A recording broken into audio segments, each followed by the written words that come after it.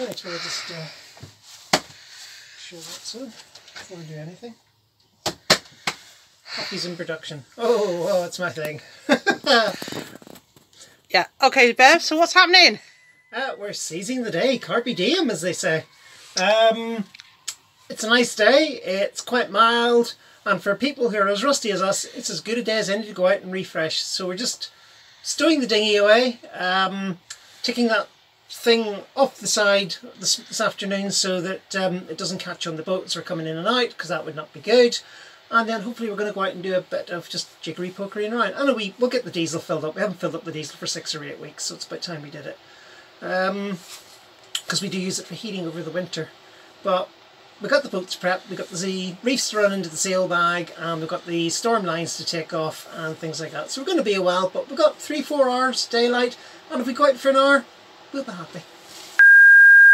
Uh, I'm being told off. Um, I've just done a whole intro piece and I forgot to mention the fact that we're supposed to be doing electrical work today, but I'm so overwhelmed with the thought of getting out for a bit, I just couldn't resist it. So the electrical work, it can wait till tomorrow. Sailing today.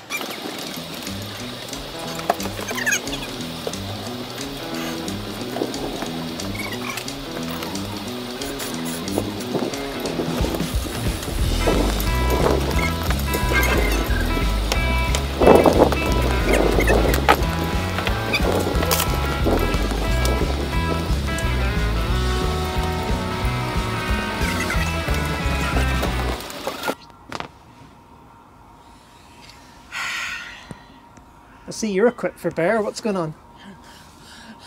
We've uh, got something loose um, on the side of the pontoon, so we're just going to remove it. But um, uh, I just remember one of the things that um, another fellow yachty said about uh, your drills. He says, buy expensive, buy cheap, they sink just the same. But which is why I've got a couple of bowlines on mine. I don't know why I bothered getting the drill out. I won't be needing it, but at least I will be using one of my new Christmas presents, a crowbar. so yet to use is the spongy mallet. And my favourite, my wobbly bits. You and your wobbly bits.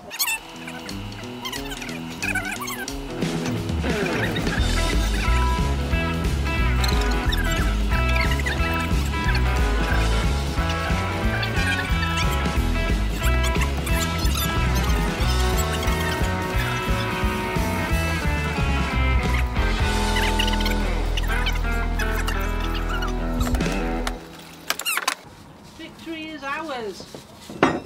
Yeah, and we got all the screws by the looks of it. Yes. Uh, Cockadiki. Right, let's start the engine.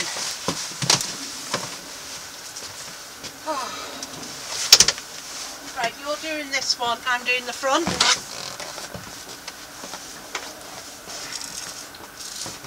Something's not right. I'm not getting. No, I'm not getting an alarm.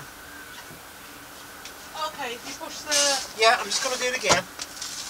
Right, fuel gauge needle is up. No alarm.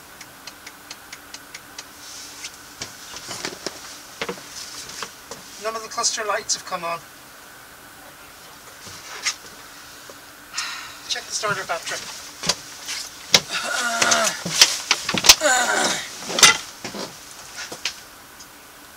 Yeah, there's loads of voltage in it.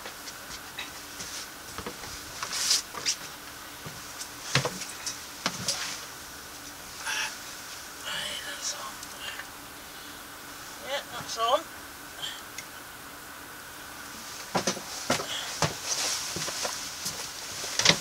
Like you say, no alarm at all. Ugh. This is rather alarming. Okay. Okay, try that. Is it still on? Up, up for the alarm, up for the alarm. Okay, just to see.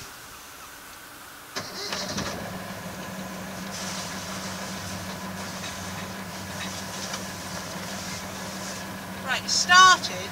I think it's back to the slip. We're gonna have to because um,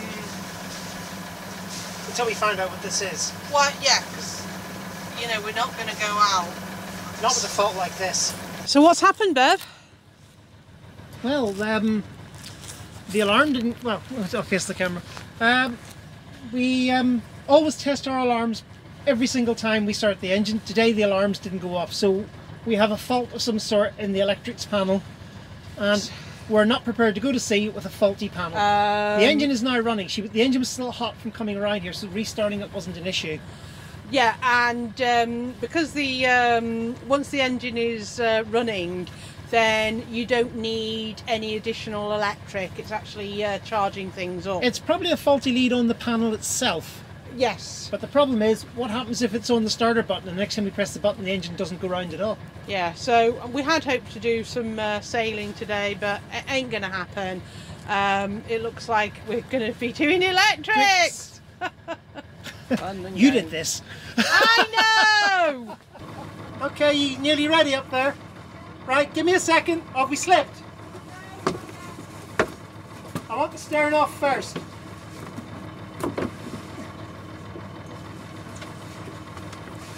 Right, stern's off. Slip now, please. Just slip. She'll be fine.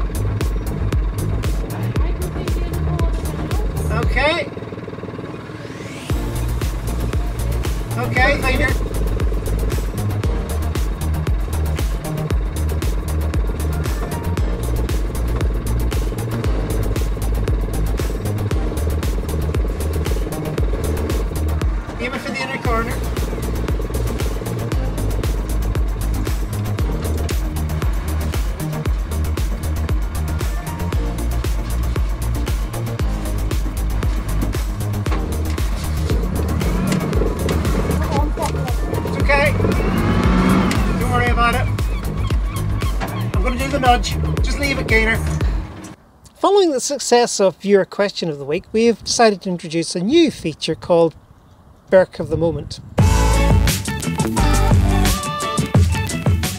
And that would be me at the moment. Um, due to a complete and utter lack of practice, because I've been sitting on my backside with all these storms coming past for the last couple of months, we've found the source of the um, ignition problem. Uh, and it does help if when testing the alarms I press the alarm switch and not the glow plug switch, which is what I was doing. So there's probably absolutely nothing wrong with the boat or the engine or anything else. It's just that the alarm test didn't sound because I didn't press the test button. I pressed the glow plug button because I didn't have my glasses on. So yeah, so maybe if tomorrow's a nice day, we'll get to go sailing tomorrow. But I just feel a bit. bleh. On the plus side, I've got a curry for dinner, Yay. so that's nice.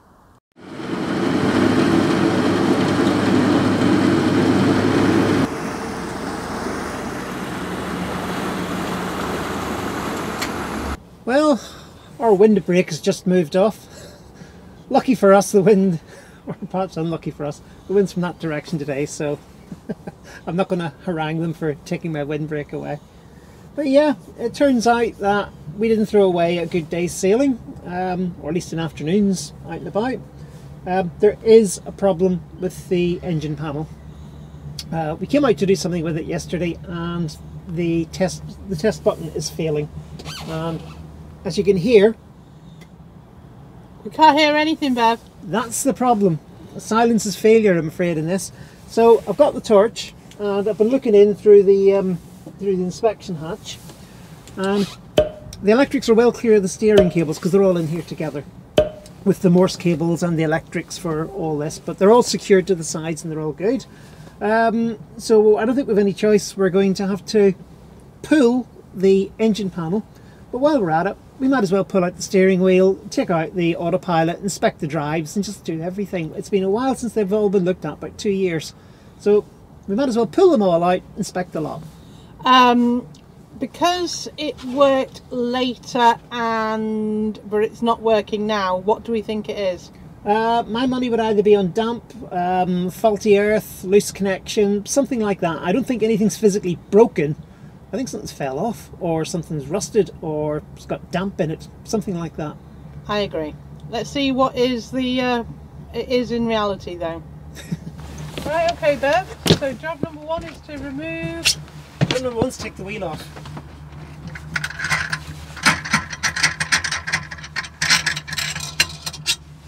Come on, Bev. You told me it'll take seconds. It does normally just spin that knot off and the wheel comes off in your hand. But it's obviously been a while. Can I get my crowbar out again? No. I'll just check using the winch handle. One, two, three. Got it. There's an additional nut. Whoops. Which you don't want to lose overboard.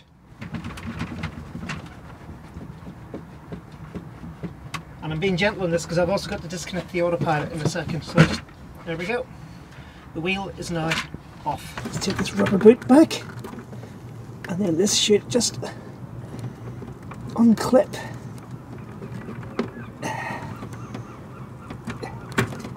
And it's off. Right.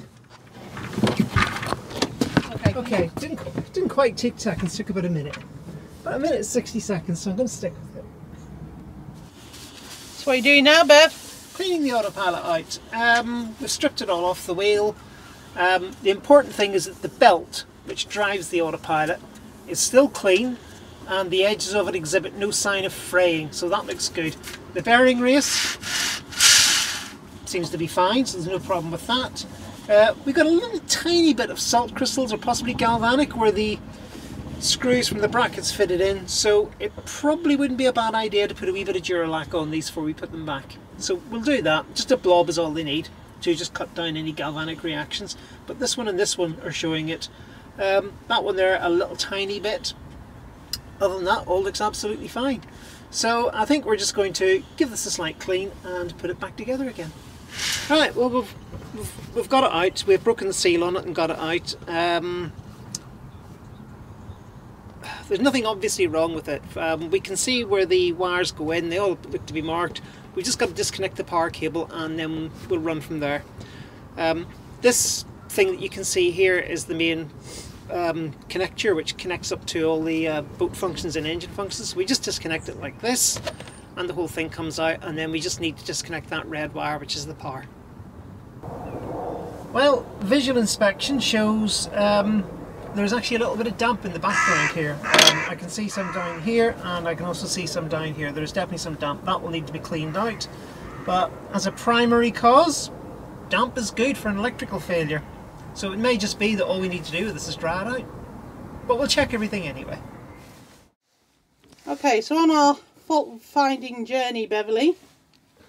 Right, um, obviously it could be something very simple like the horn just doesn't work. You, know, you can press the button all you like, but if the horn doesn't work, it won't make any noise. So what I've just done is I've connected up to the boat's 12 volt system, which is now on. And I've got this connected up. This is the, the earth side, so clearly the horn works. So if there's an issue, it's not with the horn. So now we follow the wires from the horn back to the next bit, which will be the switch. And what we'll do with the switch is we'll connect it up to a voltage supply and then toggle it. And if the switch is working, um, we will see the voltage on a multimeter or something like that. So that will be the next thing to test. A lot. Uh, right. We hadn't really intended this, but this is going to turn into a viewer question of the week section.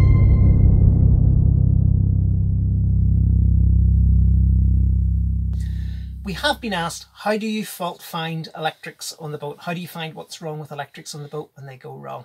And we hadn't intended to use this as an example. We were going to film something in a week or two's time, but you know, this has gone wrong. We have to find out what's wrong with it. So um, if you're like me, very, very good thing for uh, fault finding is a pair of glasses because without them, I can't see a darn thing. But if you don't have glasses, you have to worry about that. There are two tools that we highly recommend. One is a good pair of cutters. Um, And the one thing I would say about those cutters is that they have to have a flat edge. Oh, yes, yes. Uh, where they cut here at the back, it's if, if they have a groove before you get to the blade, it's not that good. You want a nice flat back on them so they cut cleanly and really close up. Um, but anyway, a nice set of cutters. And the other indispensable tool for electrical fault finding is a multimeter. Now, you don't have to go out and buy a Fluke 200 pound. It's a brand of multimeter. It's what all the proper electronic engineers use and it does everything but make the coffee.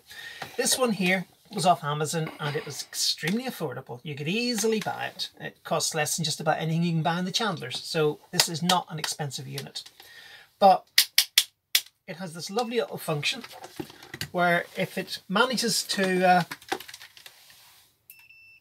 make an electrical connection, you get a beep on the thing. So you can use this, you can put it into bits of the thing and test that there is electrical connections where there should be electrical connections, or more importantly, you find one where there shouldn't be one.